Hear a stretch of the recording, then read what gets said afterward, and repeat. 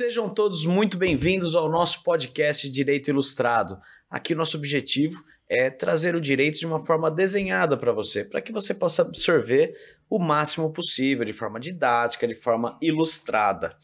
E para isso eu convido aqui ilustres convidados. Está aí também o nome Direito Ilustrado.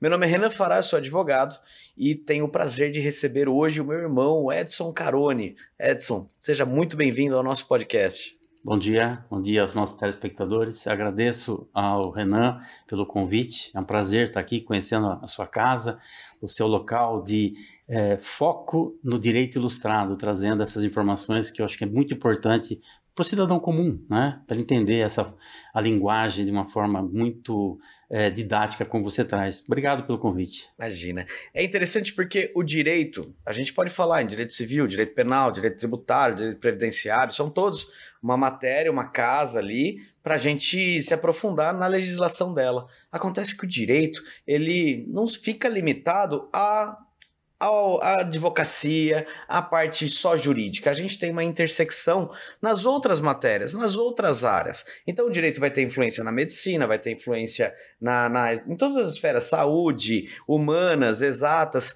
E nesse caso, a gente vai mostrar, e é justamente o nome desse episódio, é a intersecção do direito e o jornalismo.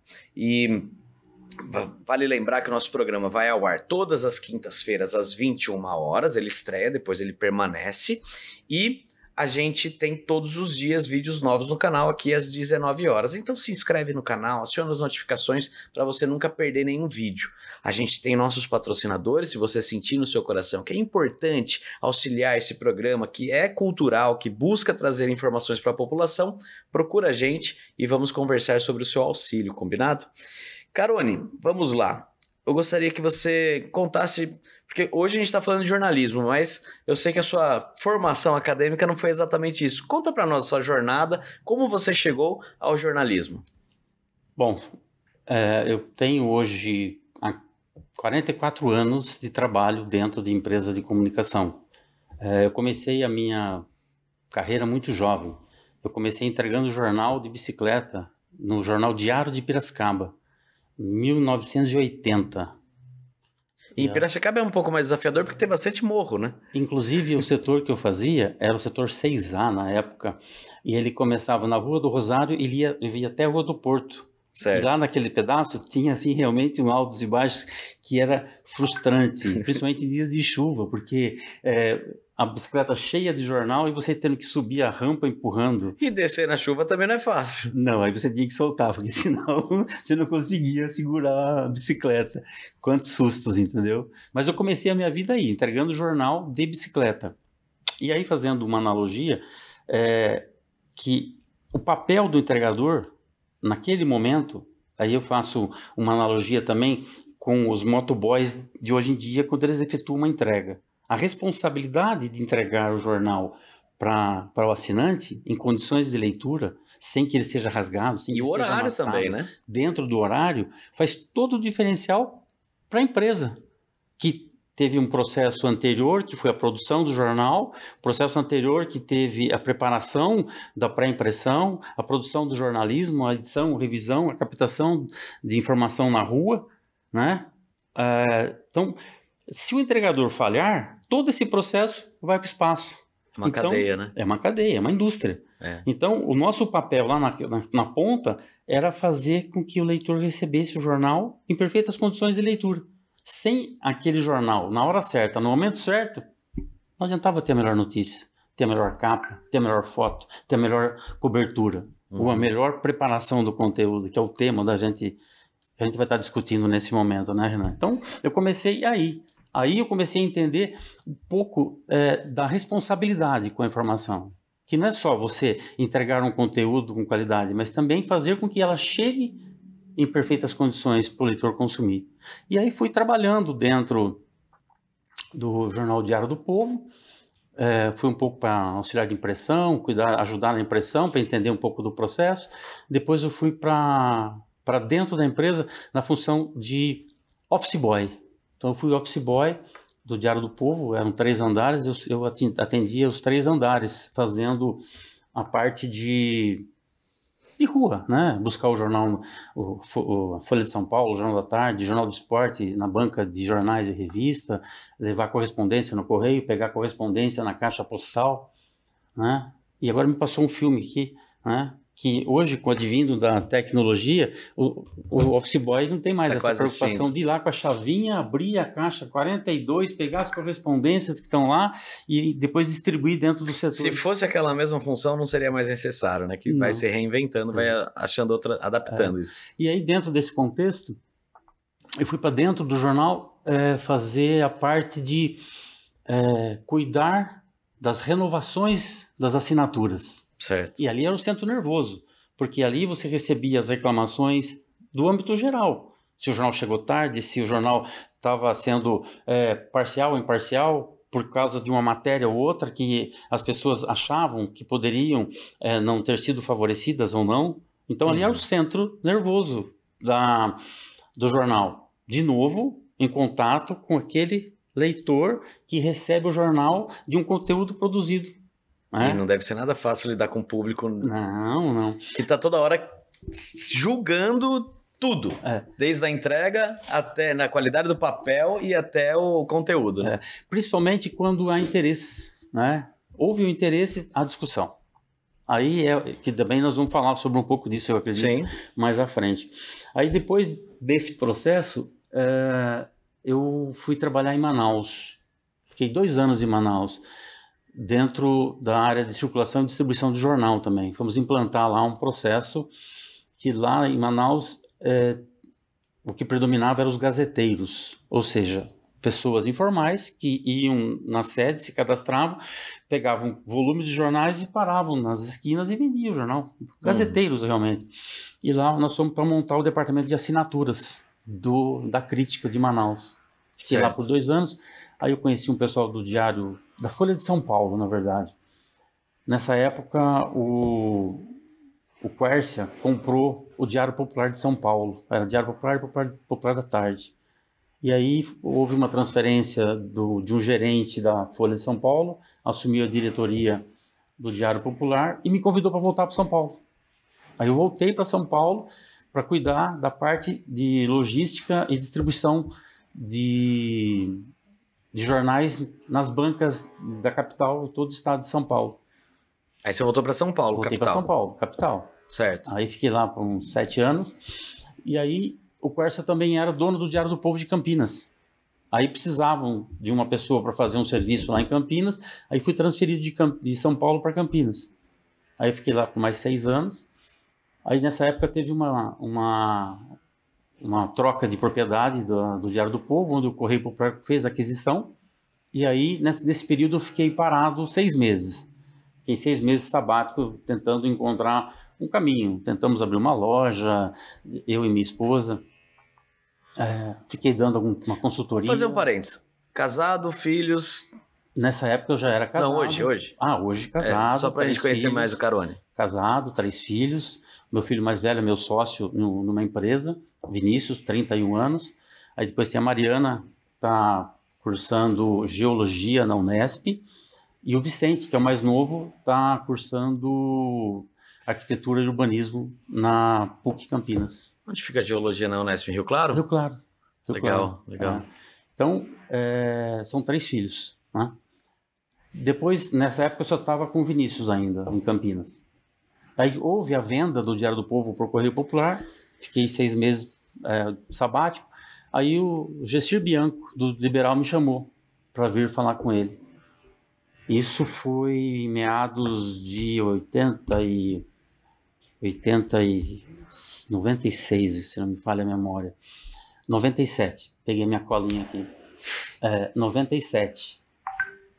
Aí depois lá fiquei até 2019. Me aposentei, CLT, apesar de ser diretor, mas eu era um diretor estatutário dentro do, do Grupo Liberal. Fiquei dois anos, é, aí nesse período também veio pandemia. Sim. Pandemia. Montei uma empresa que é uma, uma franquia da Hostnet, é uma empresa de hospedagem de sites e e-mails, e uhum. fundamos a Ciclos.com, que é uma agência de comunicação é, que meu filho toca hoje. Ficamos dois anos. Nesse período de transição do liberal para a TV Todo Dia, na qual estou hoje, é, eu fiquei dois anos de contrato com o liberal para poder não, não atuar no mercado, porque eu era diretor da empresa, enfim, tudo bem, foi tudo certo, tudo dentro do que nós combinamos, dentro do direito, tudo justo e perfeito. É, fiquei dois anos depois, uh, o Roberto, que é o presidente da, da Rede Todo Dia, me chamou e me fez uma proposta que me encheu os olhos, que era para atuar numa área que eu nunca tinha atuado, apesar de Campinas, na época que eu estava em Campinas, o Persa tinha a concessão do canal da, é, do SBT, mas eu não atuava no SBT. Mas nas reuniões da holding eu sempre participava com os gerentes da, das outras áreas e tinha a televisão, e, mas eu não estava envolvido diretamente com ela. Uhum. Então, quando eu recebi a proposta de voltar e voltar focado no canal, especificamente televisão e internet, foi aí Falei, bom, agora eu vou e vou encerrar a minha vida profissional, o meu ciclo dentro, fazendo televisão e também desenvolvendo mais o digital, que é a parte das redes sociais, do próprio canal do streaming, que também está no ar. Então, em suma, é, é essa a trajetória. E passaram 44 anos desde a minha primeira entrega de jornal. Resumido aqui em uns 10 minutinhos. Nossa, foi 10? Achei que ia ser menos. É, não, é, são 44 anos, né? Carol, me diz uma coisa, é porque assim, nosso programa ele é dividido em três partes. A primeira parte a gente chama de preliminares, onde a gente conhece um pouco mais, tanto da parte profissional de como a pessoa chegou até ali, como a pessoal também do nosso convidado. Depois a gente vai para o mérito, que nesse caso vai ter, vai ser a intersecção entre direito e jornalismo, e no final a gente faz ali o nosso último quadro, que é o diferente para sentença, onde você vai poder responder ou fugir, recorrer da, da, da pergunta, tá? Resposta daí rápida, resposta direta. Então vamos lá, só para concluir essa primeira parte, já falou, filhos, esposa, quiser mandar um beijo para ela, esse é, o, esse é o momento. Beijão, Marcelo. e por fim, eu gostaria só que você desse uma dica de um livro, filme, ou livro, ou filme, ou uma série para o nosso, nosso telespectador assistir.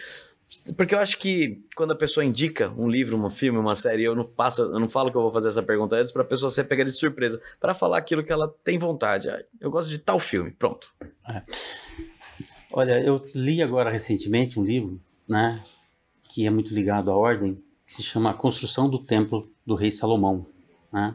E ele traz aspectos que é, chamam muito atenção muito ligado ao Antigo Testamento, que você consegue é, ter uma visão um pouco mais clara da de como tudo isso que nós vivemos hoje dentro da história, ela faz com que a gente é, tenha um olhar mais crítico para algumas coisas e consiga entender realmente é, alguns porquês que às vezes não tem respostas quando alguém pergunta para você. Então, uhum. eu falo sobre esse, esse livro. Não me lembro agora o nome do autor, mas... É, a construção é, do templo do rei Salomão. Isso, né? É, séries. Eu não curto muito séries, né? Eu acho que as séries, ela, ela demoram ela te prende, ela fica. É, o objetivo dela é, é, te manter assistindo, né? É, então é, é para mim ela é cansativa, né? cansativo. Eu gosto mais de assistir filmes que tem um começo, meio e fim. Aí não importa que tenha duas horas, duas horas e meia, três horas. Eu começo Entendi. e vou até, até o final. O último filme que eu assisti que me chamou a atenção é, foi. Como que ele chama? Poxa vida. Se você lembrar ao longo, você fala, pode ser? Tá bom, eu vou deixar anotadinho aqui e volto a falar sobre o filme. Esse é o problema de fazer uma pergunta surpresa. É. Sempre a resposta está na ponta da língua. É. Então vamos lá. Entrando agora no mérito. É, vamos começar a falar sobre essa relação entre os estudos jornalísticos e jurídicos, tá? Na sua opinião, qual é a importância da formação jurídica para jornalistas que cobrem casos judiciais? Óbvio, não precisa ser qualquer caso, mas aquele que vai acompanhar um julgamento, que vai trazer informações, seja até em nível nacional ou em nível municipal. Qual é a importância dele ter conhecimentos básicos aí do direito? Vou fazer uma colinha aqui para mim poder seguir a, a, sua pergunta, que pelo, pelo meu entendimento foi três em uma. Né? Bom, é, olhando, olhando assim para uma coisa mais específica, mais técnica, Renan, é, quando um jornalista ele cobre um assunto jornalístico é, relacionado ao direito, ou ele escreve para uma revista, ou para um blog, ou para um site, que é relacionado ao direito, aí sim eu entendo que esse jornalista teria que ter um curso superior voltado mais técnico para o direito. Certo? Certo. No caso, por exemplo, de um jornalista que ele cobre o factual, ou ele cobre, vamos pensar na nossa micro-região, uma empresa de comunicação local, né? que ele vai cobrir uma pauta específica do direito. Né? Neste caso, eu entendo que ele não precisa ser formado em, em, no direito. Basta ele ter uma assessoria jurídica que dê um suporte a ele caso haja uma dúvida, que normalmente é o que acontece. Sim. Né? É... Então, quando eu olho ah, mas e a formação de jornalismo? O diploma de jornalismo? Ele é importante? Ele é relevante? Apesar de ter caído o diploma? Eu digo que sim, ele é importante, porque o conhecimento ninguém tira. E se você vai e senta lá no banco da, da faculdade para poder fazer o curso e conhecer os fundamentos, entender sobre a, a importância de entregar um conteúdo com credibilidade, entregar um conteúdo com base em pesquisa, base em estudos, então faz com que esse profissional se diferencie dos demais. Apesar de eu, de eu conhecer e ter amigos que não são jornalistas e escrevem muito bem. Tem advogados que são que escrevem e tem pessoas que não são advogados e também escrevem muito bem. Né? Então, quando é, você me faz essa pergunta, eu entendo que é uma, é uma resposta com três viés. É importante quando o, o, o jornalista ele vai escrever para uma revista especializada, o blog, o curso de direito para ele é importante. Ele entender a, a legislação. Uhum. No caso do jornalista que trabalha numa empresa de comunicação e ele vai escrever, como eu já disse, eu não vejo isso como um, uma importância suprema. É. Eu entendo o seguinte. É óbvio que o primeiro, só para explicar, por que ele falou diploma do jornalista, né, do jornalismo caiu? Porque tempos atrás, a, não sei se foi a associação dos, dos foi uma entidade que representava os jornalistas, né?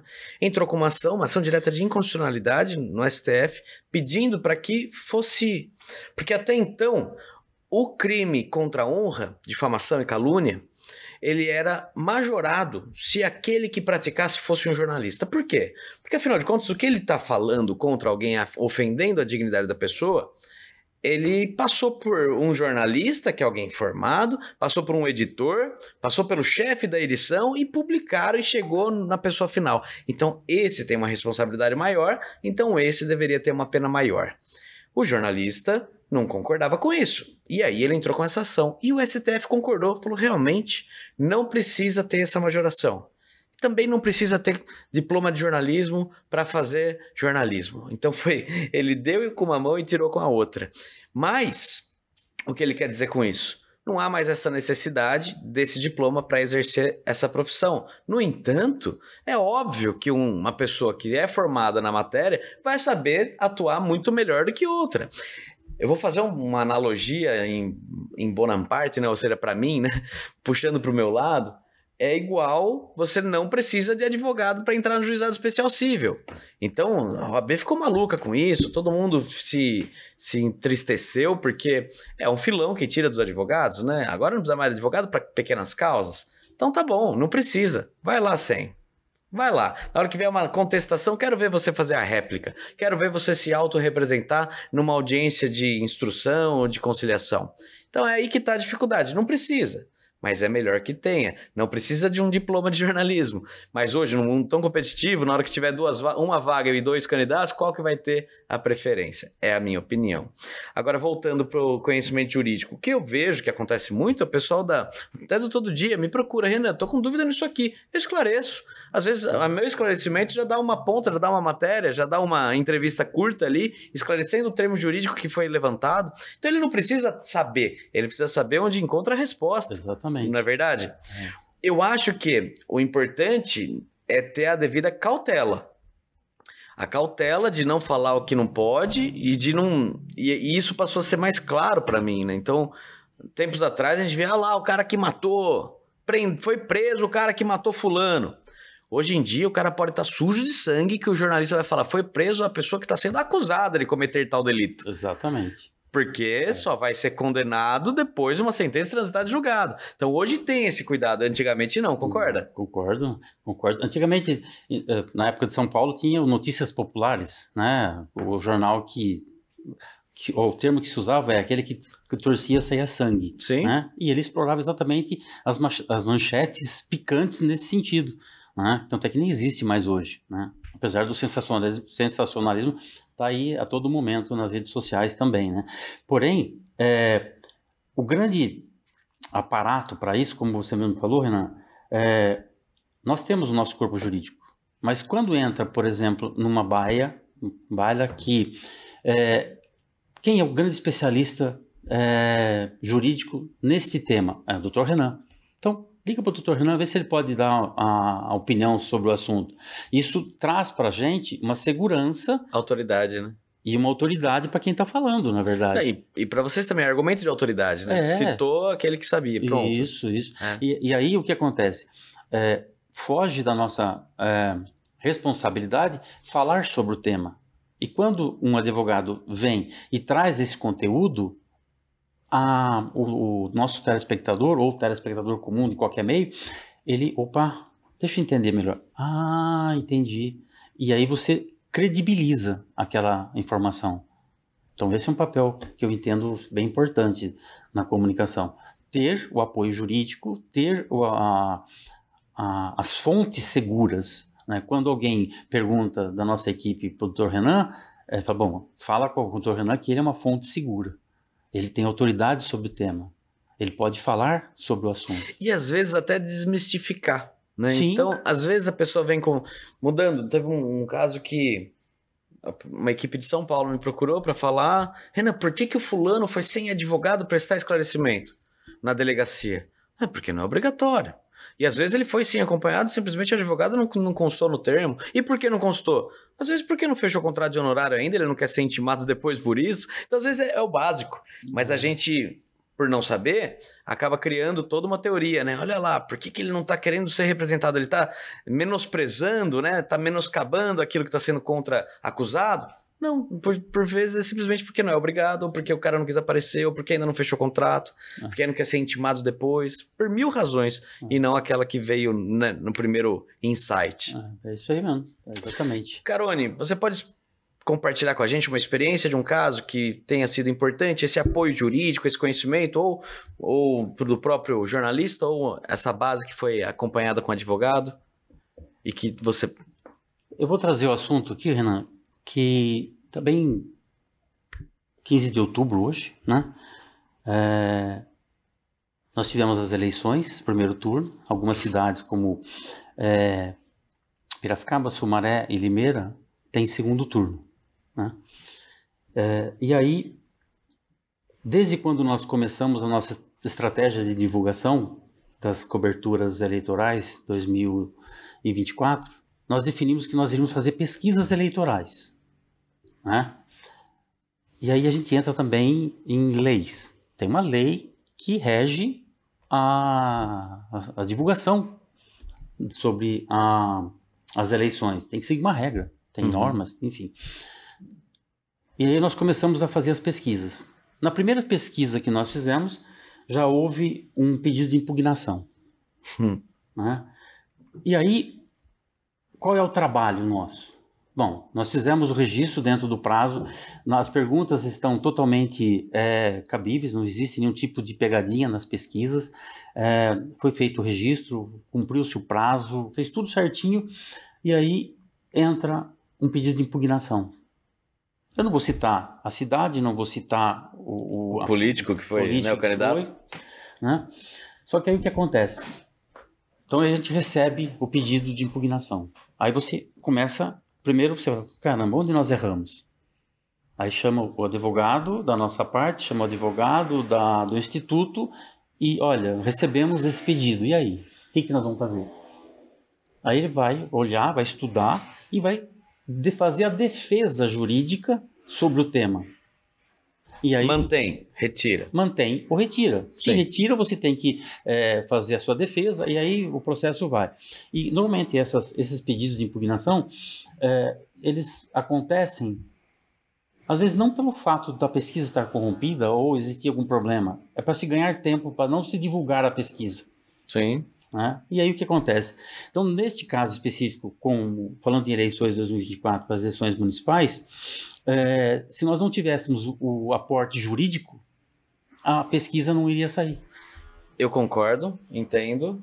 E é por isso até que o próprio direito eleitoral ele tem prazos muito rápidos, né? É. Tudo é muito rápido, até para não atrapalhar a pesquisa e também não atrapalhar a candidatura da exato, pessoa se exato. tiver realmente algo maculando. Isso. Agora conta para mim, Carone, não tem nada a ver, mas eu só queria saber o sentimento. Você desenvolve um trabalho, faz uma pesquisa, faz move todo o aparato da sua empresa, da, do jornalismo e tem uma impugnação, ou seja, isso fica embargado judicialmente. Qual é o sentimento daquele que atua e tem esse embargo? Eu fico pensando na democracia. Porque é, quando alguém faz isso, ele está impedindo de, da empresa jornalística entregar uma informação que é importante. Porque, na sua grande maioria, o, o eleitor comum ele pode ter as, as, suas dúvidas. Eu vou votar no candidato A, no candidato B, no candidato C. Bom, mas o meu candidato está em quarto. Será que eu vou seguir Queimar com esse voto? voto? É. Né? Ou eu vou fazer, fazer o meu voto ser válido? Então é uma frustração pelo impedimento de fazer o exercício da nossa profissão, que é entregar o conteúdo. Né? Porque quando você escolhe um instituto de pesquisa, você precisa tomar alguns cuidados. Né? E nós contratamos a Agile Pesquisa é, porque ela não tinha nenhum tipo de relacionamento com é, candidatos. Não que isso seja impeditivo, mas a empresa não tinha nenhuma pesquisa fechada na nossa região para candidato. Ou seja, uhum. para a pesquisa não estar maculada. Sim. Não estou dizendo que isso acontece. Porém. A gente é já leu nos livros isso, né? É. Então o que acontece? Então existe essa frustração. Teve uma outra cidade, Renan, que teve um candidato e todas as pesquisas ele estava em primeiro lugar. Aí tinha mais quatro candidatos. Todos os outros quatro candidatos apareciam em outras pesquisas em segundo lugar. Olha que maluco isso. E aí o que acontece? A informação distorcida. Quando ela cai no senso comum, a pessoa ela é envolta numa mentira. E o voto dela pode ser corrompido pelas informações distorcidas, pelas pesquisas feitas por institutos que se sujeitam a algumas práticas não legais. Uhum. Né? Então, eu, eu diria que é frustrante você fazer isso. E aí também, da mesma forma que é frustrante, o clima de satisfação quando você fecha o ciclo, acertamos em todas as praças, né? Mesmo com todas essas é, tentativas de impugnação, que não foi uma só, né? É, a gente conseguiu fazer um bom trabalho, conseguiu fazer com que os números é, conferissem, conferissem com a realidade. Entendi. Então, é, é isso. Perfeito. É uma a gratificação né, do, é. do que foi feito. Eu acho que um exemplo claro também de quando o jornalismo. Veja, assim, para mim, né? De quando o jornalismo faz a intersecção com o direito é em casos de acompanhamento de julgamentos drásticos, dramáticos do Brasil. Então, por exemplo, no caso da da, do casal Nardoni, quando eles estavam sendo julgados em São Paulo, eu lembro que todos os dias o Mauro Nassif, que é um advogado excelente do Tribunal do Júri de São Paulo, que inclusive fez a defesa da Suzane Richthofen, uhum. ele, quando foi o caso do Nardoni, ele dava entrevista todos os dias explicando o que aconteceu no julgamento, como que foi, o que cada um disse, etc. E aí, ou seja, participação buscando o advogado, né, o especialista, para falar sobre o caso na televisão. E eu vi, esses dias eu assisti, eu sei que você não gosta, mas eu gosto de séries, e eu assisti a série Monstros, que fala caso dos irmãos Menendez, que assassinaram os pais. E a advogada deles, e aí é até estranho, no Brasil não poderia, porque ela é a, a parte, né? Ela faz parte da defesa uhum. e o que ela sabe é sigiloso, etc. Pode dar uma entrevista aqui, outra lá, mas ela tinha, no caso, mostra na série, um salário mensal para poder ir no canal tal, no, episódio, no, no, programa X, e falar semanalmente o que estava acontecendo no processo. Acho que ela ganhava 4 milhões, coisa bem alta, assim. Não sei se era milhões, mas era muito alto o valor que ela recebia só para ir lá falar sobre o processo que ela tinha. Mas para você ver a importância de trazer o direito para dentro do jornalismo para trazer transparência, né, a informação para a sociedade. Tabacaria Rucá. Você que gosta de fumar seu narguilé, que precisa dos acessórios para ele, o carvão, a essência. Você que gosta de um charuto, um bom charuto cubano, ou um nacional, um Dona Flor, um baiano de qualidade, você pode encontrar isso na Tabacaria Rucá, que fica na Avenida Paulista em Americana. Também é um lugar muito bom para presentes. Ali vai ter várias coisas de decoração, coisas de planta, muita coisa interessante que você encontra do seu lado. Tão fácil, tão tranquilo, o acesso ali é rápido e você tem esse produto de qualidade diferenciado que vai surpreender aquela pessoa que for presenteada. Portanto, vá, faça uma visita na Ruka e diga que você conheceu ela através do nosso podcast. Minas Online, pós-graduações Minas Online, você que quer buscar se aperfeiçoar no direito, a Minas Online vai ter a pós-graduação adequada para você entender um pouco mais, se aprofundar, fazer essa pós-graduação lato senso que vai te dar ASO vai te dar ferramentas para atuar no direito, seja direito médico, direito criminal, são várias práticas que tem ali que são fantásticas. Vem conhecer, acessa o link deles por esse aqui nos comentários, na descrição desse vídeo você vai encontrar o link para chegar e fazer a sua compra com desconto. Se você clicar por aqui, você vai ter desconto. Isso, essa é a nossa vantagem. Urban Ladies and Gents esse é o salão de beleza, estúdio de beleza que eu utilizo para manter o meu cabelo em dia, minha barba em dia e eu recomendo que você conheça. Ali você vai passar por profissionais que são especialistas no atendimento. Todo mundo se sente muito à vontade na Urban Ladies and Gents. Vai lá, toma um café durante o corte, durante a barba. Dependendo do horário, você pode tomar uma cervejinha. Ali são pessoas especialistas em te deixar extremamente confortável, desde a massagem no momento da lavagem do cabelo até o momento aí de fazer sua barba. A gente fala que a barba é o spa masculino, é a maquiagem do homem. E você vai se sentir bem, renovado e bonito. Com certeza, a sua melhor versão. Conheça Urban Ladies and Gents, passa ali com o Rodolfo, com o Atílio ou com as meninas e você, sendo homem ou sendo mulher, com certeza vai gostar do atendimento e do resultado. Conheça Urban Ladies and Gents. Imobiliária Rogano. Você que tem um imóvel, que quer vender, que quer alugar, ou você precisa alugar o imóvel, comprar o imóvel, o Rogano é o cara que vai encontrar o melhor para você. Conversa com ele, manda uma mensagem para o Rogano e vai conhecer as opções que ele tem. Tenho certeza que alguma delas vai te agradar. E se você falar, não gostei dessas, mas eu quero aquela que não está no catálogo dele, vai conseguir chegar isso para você, pode ter certeza. Rogano é o cara. Segue ele. Vou mudando um pouquinho, quais os desaf principais desafios que você, como jornalista, enfrenta em relação a problemas jurídicos na sua cobertura?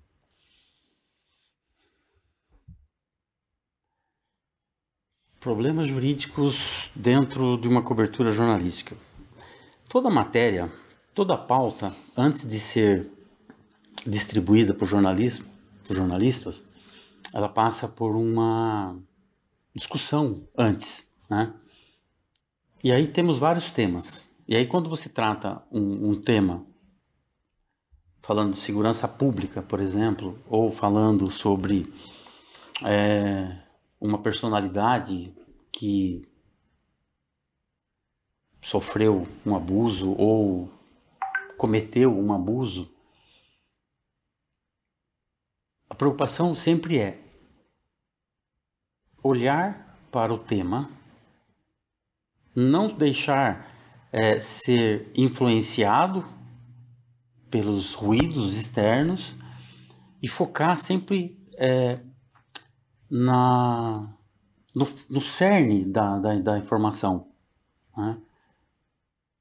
E aí, para construir essa, essa informação, você deve buscar fontes seguras, né? porque existe uma preocupação sempre em preservar o profissional, no sentido de que é, não expondo ele a, a, riscos, mas fazendo com que ele busque realmente é, aquela informação. E para isso, Renan, não é simplesmente você pegar o telefone e ligar para uma pessoa, olha, aqui é o jornalista tal, eu quero falar sobre o tema X, né? Tem todo um trabalho. Às vezes a pessoa não fala, não quer falar, ela direciona para um advogado, pra, Sim. no caso, ó, você vai falar com o meu advogado. Aí você começa a conversar com o advogado. Então, todo esse processo, você tem que estar respaldado em segurança jurídica. Né? Eu costumo dizer sempre assim, quando alguém vem discutir comigo um assunto, uma pauta, eu faço quatro perguntinhas básicas. É, tem interesse público? Ouviu o lado A? Ouviu o lado B? Se tem embasamento jurídico? Se essas quatro perguntas for sim, publica. Uhum. Né? E quando fala embasamento jurídico, é de ambas as partes. E quando é uma fonte anônima? Fonte anônima. Tem esses tem, delatores, alguém é, que o tem, jornalista tem que é tem, de confiança, tem. mas não pode citar o nome. É comum, é comum você receber, por exemplo, através do WhatsApp, uma ligação, por exemplo, olha, eu estou aqui, né, é, e preciso ser atendido num, numa entidade X. Estou aqui há três horas, ninguém me atende, né? Já falei com a recepcionista, já pedi para falar com a supervisora e estou aqui e queria fazer uma reclamação. Tá, mas você é, pode ser uma fonte? Ah, não, eu não posso aparecer.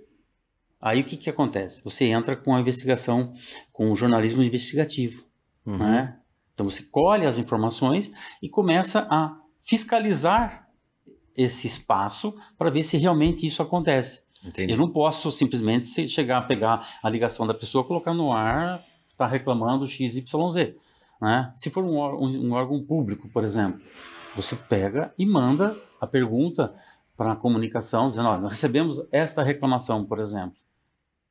Aí a, a imprensa serve como um meio fiscalizador para a prefeitura, por exemplo. Justo, justo. Serve como um estopim, é igual uma denúncia anônima na polícia. Exatamente. Não pode ter uma denúncia, né, um boletim, um inquérito formado por uma denúncia anônima? Pode. Ela foi o estopim e depois eles vão investigar se é quente é. ou não. Agora, a denúncia do Ministério Público vai ter que ter base em provas e não só em denúncia anônima. É. O que acontece muito Até porque hoje... o anonimato é vedado na Constituição. É, até hoje, com o advindo do, do, dos telefones celulares, que também faz ligações, né? É. Às vezes faz. É, as pessoas filmam, as, as, pessoas fotografam. Olha, eu estou aqui. Tira foto, filma e manda. Então isso já serve como um começo de trabalho. Sim. Né? Mas a gente não pode expor a, a, a o denunciante, né? Uma outra coisa que é muito comum no jornalismo, você preserva a fonte, né? Não, eu falo, só que eu não quero que eu, é, minha, que eu, que eu minha, meu rosto seja exposto, né? ou a minha voz seja. Então você coloca uma sombra, você desconfigura a voz e você dá a voz para a pessoa. Uhum. Olha, eu estou aqui e mas você complementa a matéria com o vídeo. Sim, sim. E hum, a imparcialidade é um valor essencial do jornalismo. Como que você garante que o trabalho dos jornais que você atua ele seja ético, imparcial, especialmente em casos controversos? Eu começaria dizendo que é, não é fácil. Ainda mais num mundo tão polarizado que a gente vive, né? Num Brasil tão polarizado. É, é... Eu acho que a gente tem que tentar proteger, proteger bastante a, a, a redação de influências externas. Porque existe muito interesses políticos, comerciais, e isso pode comprometer a imparcialidade. Então, tentar deixar ela o mais ausente possível. Essa aqui é a pauta, são essas as perguntas, este é o objetivo e vamos tocar adiante. Então, eu entendo que é, para ter uma independência editorial, primeiro você tem que ter esse pensar. Segundo é você trabalhar com fontes seguras, porque é, o, o, jornalismo é, ele precisa de informações às vezes extras oficiais para conseguir chegar exatamente aonde ele precisa ou com quem ele precisa falar. Uhum. Né? Olha, fala com fulano dentro do setor X, por, por exemplo. É, esse é um caminho. Outro caminho que eu vejo também é autocrítica e correção. Né? Porque o jornalista não é dono da verdade. Ele traz as informações uhum baseado em pesquisa, baseado em capturas de informações. Então, e se porventura cometer um erro, ele tem que fazer a correção, estar disposto a corrigir erros. Então, isso também faz parte da construção de uma credibilidade. Que é o que acontece, se ele perceber que divulgou uma fake news, ele volta atrás, fala, olha... É, eu, vou, eu, vou, deixar aqui fake news para falar depois, tá. dentro do, do, do, do negócio. Uh, uma outra coisa que a gente entende também que é fundamental para o jornalismo é separar aquilo que é opinião daquilo que é jornalismo. Uh, porque opinião é algo que você pode expressar, mas não pode influenciar no seu conteúdo. Uhum. Então, se você escreve uma matéria sem expressar a sua opinião, ela gera mais credibilidade. Porque a população consegue entender, bom, aqui tem uma pitada de opinião, então uhum. tem, isso tem que ficar muito, muito claro. Né? E buscar diversidade nas fontes. Nunca ficar preso a uma única fonte. Uhum. Para que você consiga ter experiências diferentes, olhares diferentes para o mesmo assunto.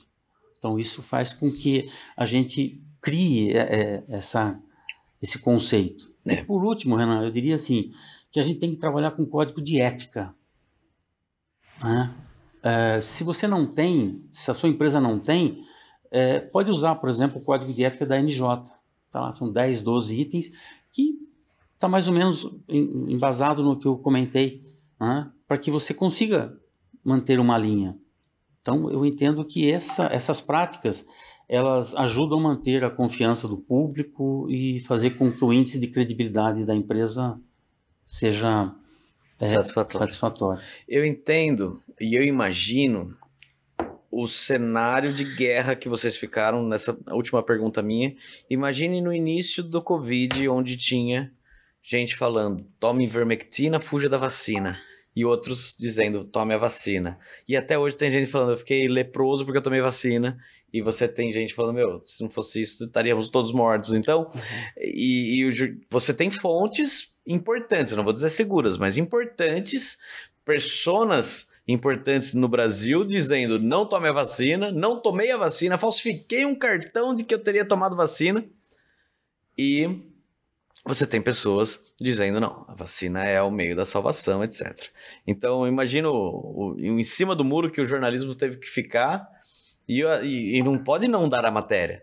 E não pode simplesmente ficar inerte, né? Ficar em cima do muro. Tem que a, tem que abraçar um lado e não um lado, mas tem que abraçar a informação e transmitir. É. Nós recebemos um, um trike do Facebook de uma matéria que foi publicada. O é... que, que é trike? Você foi bloqueado no Facebook. Você, certo. Quando você publica algo que é, foge das leis, das regras. Né? Tá. Por uma matéria exatamente sobre a pandemia e sobre medicamentos. Eu não vou entrar em, em detalhes, porque até hoje isso é, é, é motivo para discussão. Mas, na fala dele, ele externou uma opinião. E nesta opinião, nós fomos bloqueados. Entendi. Né? A pessoa não trabalha mais com a gente e até entendo que também não fez por maldade. Foi no, no, no afã de levar a informação. E às vezes ele, até ajudar, fez, né? É, ele fez um comentário que acabou sendo prejudicial para nós aqui no momento, mas depois respondemos todo de acordo com as normas e está tudo certo, né? Uhum. Porém, é uma linha muito tênue essa, esse tema, porque faltava informação, mas tinha muitas informações e as informações. Tinha muita contra-informação. Exatamente. E aí, como trabalhar isso? Uhum. Né? Então, aí você se apega, por exemplo, a empresas de, de comunicação que faz entrega de conteúdo, agências de notícias, onde você compra por exemplo, nacional, internacional, é, esportes, que você compra, por exemplo, de uma agência Folha, uma agência Estado, né, uma CNN que fornece conteúdo. Então você compra e aquele conteúdo que você recebe, você distribui. Entendi. Né? Porque falta informação, faltava-se informação. Tudo era novo, tudo era, tudo era algo que. E agora? O que, que, vamos, o que, que vai acontecer? Né? Então foi um período que neste período eu estava fora. Mas eu estou falando por experiência, é, entendendo aí como que funciona uma situação onde falta informação, onde você precisa falar, só que não tem fontes seguras, porque todo mundo está falando uma coisa e todas as coisas que eles falam é, têm a sua verdade, tem o seu estudo, tem os seus ensinamentos, mas naquele período, curto período, é, foram feitos muitos testes e esses testes geraram todas essas discussões. Né? Então, e, e, os impactos que aconteceram, que irão acontecer, a gente não consegue mensurar. Uhum. Né? Então, e aí existe, existem as especulações, que a gente não pode também entrar nessa, nesse viés.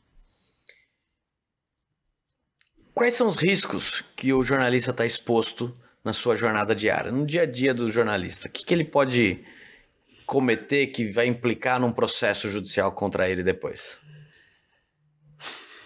Por exemplo, se existe uma lei é, usando o direito, e aí pelo, pelo direito criminal, existe, se existe, por exemplo, uma, um processo que está correndo é, em segredo de justiça, por exemplo, e a gente sabe que existe um processo X que está correndo em segredo de justiça, né? então tem que esperar o tempo. Uhum. Né? Se o jornalista, por exemplo, receber informações e divulgar essa informação que possa prejudicar a investigação, ele está cometendo um crime. Então, é, eu entendo que o risco é sempre em passar daquela linha tênue.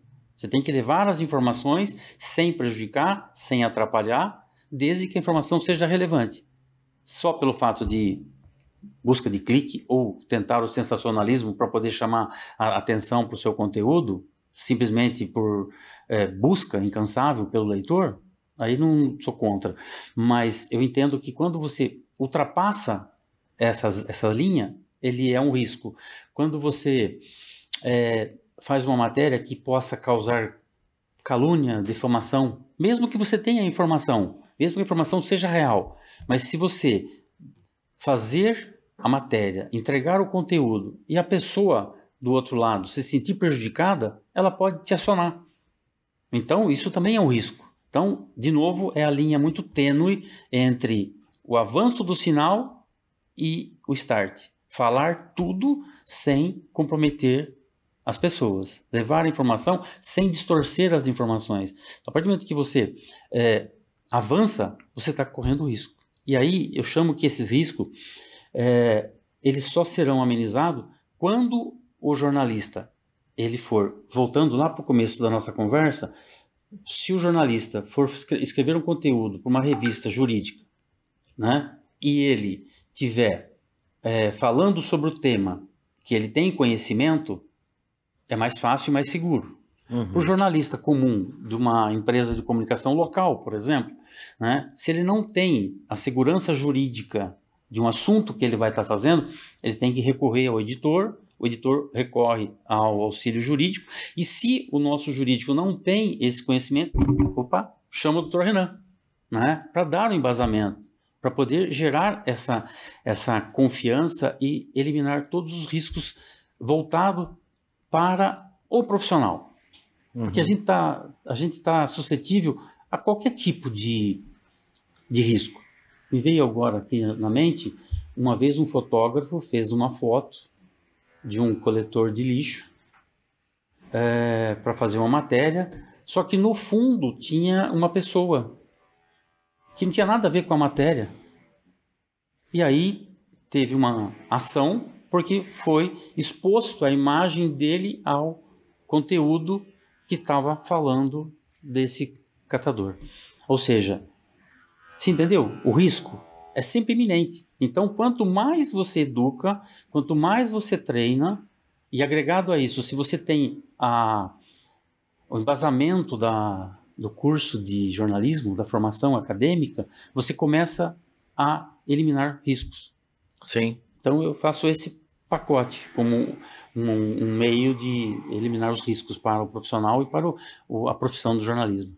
Perfeito, foi ótima resposta. Inclusive, abordou as, as seguintes aqui sobre o tema: processos com sigilo. A gente vê, por vezes, né, até com o intuito de queimar outro cara, vai lá e joga um processo que tem segredo de justiça, sigilo, por seja por ser um processo que envolve menor, um processo que a matéria, né? Uhum. Seja que o processo sempre vai ser sigiloso, um processo de ação de alimentos. Ele é sempre sigiloso, um processo de guarda é sigiloso. Inventário, às vezes é. Sempre que envolver menor idade vai ser. E determinadas matérias vão ser. E crime também é importante ser sigiloso em dois momentos. Um, quando? Bom, um processo criminal ele é dividido em duas partes. A primeira parte é o inquérito, depois ele vira processo. No inquérito, nem sempre o inquérito é sigiloso. Por vezes o inquérito é aberto. Na verdade, o que, que ele é aberto do inquérito? Tudo que já foi concluído. Então, depois que eu interceptei seu telefone, e aí, se Deus, né, se você voltar para a época dos incas, quando a gente usava ele para ligar para as pessoas, aí eu vou pegar ali as conversas, eu vou fazer a degravação, vai ficar por escrito, vai ficar os áudios lá. Depois que concluiu a interceptação, vai para o inquérito e, e eu, como advogado, eu posso ver o inquérito e ver tudo que foi gravado. Então ele não tem sigilo para mim. Depois de concluído. Se eu fico sabendo que o telefone do meu cliente está sendo interceptado, meu amigo, joga fora esse telefone e pica esse, esse chip seu. É. Até porque eu não poderia ter outra atitude, você não estaria até como um patrocínio infiel. Por isso que existe, existem momentos que são sigilosos e momentos que não são. E e às vezes chega, né, na mão de algum jornalista, um processo que o cara bateu na mulher, uma Maria da Penha que tem um sigilo processual e vai para vai a imprensa. Eu lembro que saiu na, em uma revista bem famosa nossa, né? Processo de Maria da Penha, de um. Penha. É. E, e a minha primeira questão foi: como é que eles divulgam um processo que é sigiloso? Cadê a responsabilidade disso? E eu, pelo que eu sei, depois tiveram que responder. Mas é aquela coisa, né? Lacrar, vender, vale a pena, vale o risco, né? Vale o custo, custo-benefício. É. E aí também tem que ter a orientação jurídica. Até onde vale o risco? Até onde o, o advogado entende que é, pode avançar? Sim. No caso da revista, por exemplo, né? Sim. Você estava falando de processo penal, né? Eu estava dando uma estudadinha ontem à noite porque é, você me perguntou no começo da entrevista e eu acabei passando. É, foi um túnel do tempo aqui com relação à minha história profissional. Mas eu sou formado em administração de empresa com gestão, é, com pós-graduação em gestão de negócios. Né? Eu não sou jornalista, apesar de escrever, mas eu não sou jornalista. É, então, eu estava dando uma estudada, porque é, é, quando você faz uma, uma pergunta, por exemplo, você como jornalista, é, eu tenho que olhar como gestor do jornalista, não como é, profissional que escreve o conteúdo. Sim, né? sim. E aí você estava falando do processo penal, né? Aí eu estava olhando um pouco sobre a legislação é, de jornalismo, né? Falando sobre Código Penal. Aí, Decreto-Lei 3689 de 1941. O Código de Processo Penal pode afetar jornalista especialmente no que diz respeito à cobertura de investigações criminais. Algumas decisões judiciais podem impor segredo de justiça em determinados casos, limitando a divulgação de informações. O descumprimento dessas ordens pode levar a sanções. 1941. Eu não sei se essa lei já foi. É, é não, o Código de Processo Penal e o Código Penal são muito antigos, mas eles são é. atualizados é. sempre. Sempre. Né? Então sempre. Eu, eu, não busquei atualizações. Mas é, é só para fazer uma. Agora em outubro teve uma atualização que ainda não consegui nem ter acesso, que mudou o feminicídio, tá diz que é antifeminicídio e que mudou algumas outras leis que são importantes. Ah, é. Mas eu achei, achei, achei, achei interessante, né, trazer tá lá, a lei né, de 1941 falando exatamente sobre isso, que pode é, afetar a profissão do jornalista. Né? O Porque o é. jornalista está afetando a, o trabalho do processo, né? Exatamente. É. E ele interfere na opinião pública. Então, eu até pulei essa pergunta porque você falou sobre isso e cuidado que tem que ter, né? É. Mas ter uma, algumas pessoas muito famosas que mandam um boa noite todo dia para a sociedade, é. se ele inclinar para um lado de opinião, é, eu acho que ou ele vira. Ele é execrado também, é. porque as pessoas vão perceber e vão, e vão se manifestar, mas muitos vão aceitar caladamente, né? Vai, vai e acaba influenciando. Acaba influenciando. É, Só o jeito mais ríspido de falar com o candidato. Penso em, em, política porque é o momento que as coisas ficam mais afloradas. Uhum. Mas só o jeito mais ríspido de falar com um candidato demonstra o lado dele, concorda? É, concordo, concordo, Não precisa nem falar, é o tom de voz, já é o suficiente. É. E a, você tocou no assunto que eu entendo ser é, pertinente. Por que nós optamos em fazer uma série de pesquisas? Hum. Né? Quando você começa a fazer um debate, um ciclo de perguntas e respostas para os candidatos, é, você tem que seguir as leis. Então, se você faz 10 perguntas para o candidato A, você tem que repetir as mesmas perguntas para os outros candidatos. Se você deu 5 minutos para responder a pergunta 1, um, pergunta 2, você tem que manter. É, mas quando você é, traz isso para a prática, você começa a abrir, por exemplo, é, possibilidades de questionamentos, possibilidades de dizer, ah, mas é, o veículo de imprensa A, B ou C está apoiando o candidato A, está apoiando o candidato B, o candidato C.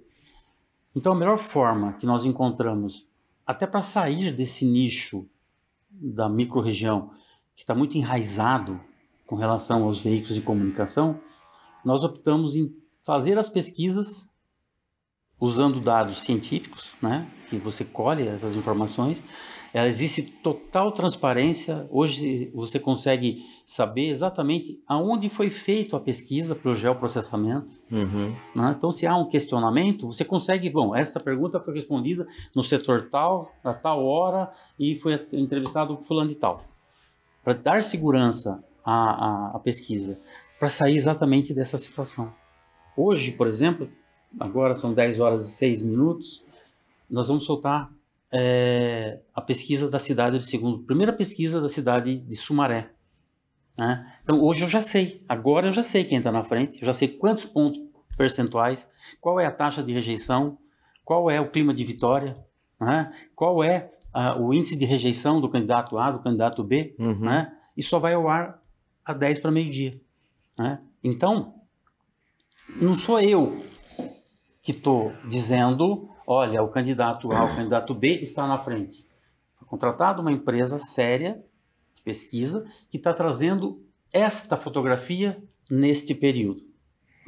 Com dados empíricos chegou essas, essa, é. essa previsão. É, é você foge Pronto. dessa Sim. questão. Não, hoje em dia, com perguntas, você consegue fazer perguntas que podem ser julgadas racistas, machistas, é, parciais, enfim. Aí uhum é bem fácil de, de dar ruim. A gente já está chegando no final do nosso programa. Eu vou antes passar pelo tema de fake news, que eu acho que é muito importante, uhum. antes de ir de frente para a sentença. Uhum. Então, vamos lá. Hoje é a era da desinformação e o jornalista precisa filtrar como que ele faz para garantir que aquela informação que chegou nele é confiável. Pesquisa, pesquisa, pesquisa não é a primeira informação que chegou no seu WhatsApp que é a verdade, né? Diferente da minha, da minha mãe, da minha tia, da minha sogra que faz isso. É, investigação, investigação investigação. Porque se você ficar na primeira, primeira é, fonte, você pode se destruir. É. E aí é a busca constante por fontes confiáveis. Né? Então, para que você não caia é, no conto do fake, você tem que ir a campo né? e estar tá muito antenado sobre o tema. Porque senão você corre o risco sim de fazer a desinformação. Eu sou totalmente é, avesso à forma que os influenciadores, de forma geral, utilizam, por exemplo, a rede social para disseminar conteúdos. Né? É, isso faz com que é, exista e propague uma preguiça mensal, mental perdão, no, no leitor, que fica é, preso e à mercê do título da, da publicação. Uhum. Ele lê o título e ele já constrói na cabeça dele tudo que ele acha, baseado na pouca no informação título. que ele tem, é. baseado no conhecimento que ele ouviu em alguma na academia, no futebol, e, e torna aquilo verdadeiro.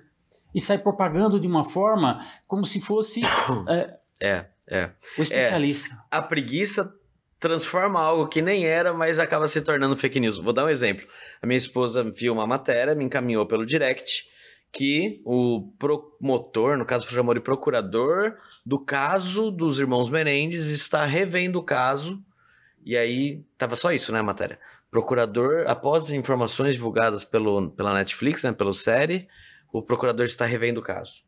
Aí você lê a matéria. É, ele está revendo porque não tem no processo, não tem tanta coisa falando sobre a parte de, de que eles teriam sido abusados pelos pais e por isso que cometeram crime. Então não está no processo. E aí ele foi olhar de novo para ver se tem alguma brecha, mas não quer dizer que, nossa, agora eles vão ser absolvidos, agora vai ser posto na rua.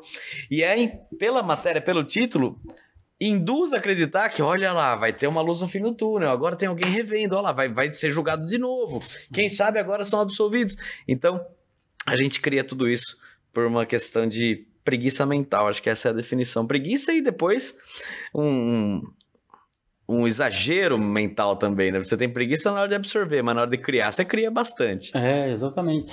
Então, eu vejo que. É... Estava conversando ontem com a nossa diretora de jornalismo, né? É... Como você fazer com que a, a chamada de uma matéria ela não fique tão extensa para que force o leitor a buscar o conteúdo completo. Teve uma, uma publicação que nós fizemos, uma pesquisa também, numa cidade próxima, que é, teve um, uma pessoa que mandou mensagem e chegou para mim dizendo: Ah, você não falou do candidato X que na última eleição teve mais de 14 mil votos. Aí eu falei: Senhor, deixa eu dar uma olhada. Como a tela do Instagram não comporta tanto conteúdo, você usa os slides. Né? Uhum. Então você.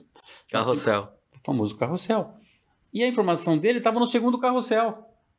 Mas ele tomou como verdade que nós não tínhamos falado da, da candidata.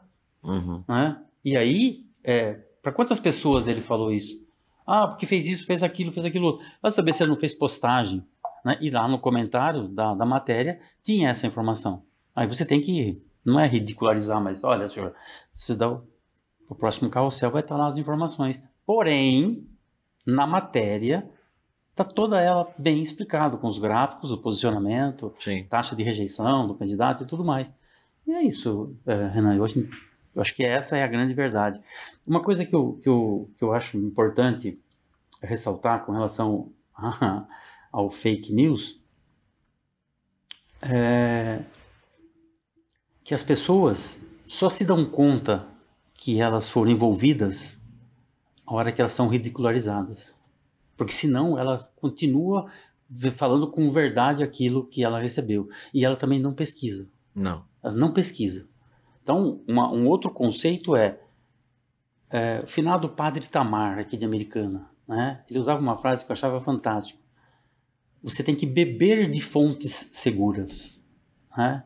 Porque se você não faz essa busca por fontes segura, seguras, você está fadado a cometer erros. Sim, perfeito. Quando